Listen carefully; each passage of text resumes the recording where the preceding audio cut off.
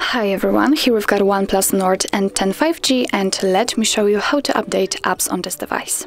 So first of all, make sure that you're connected with the internet, for example with the Wi-Fi, and then we can enter the Play Store.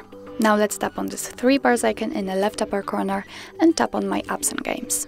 And as you can see here we've got the list of all updates pending, so if you want to update all of those apps, just tap on update all uh, right next to the updates pending.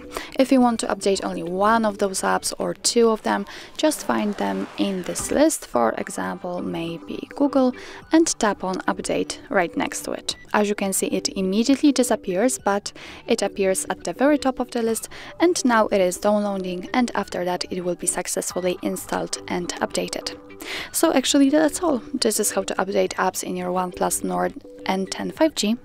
Thank you so much for watching and if you find that this video was helpful, please hit the subscribe button and leave the thumbs up.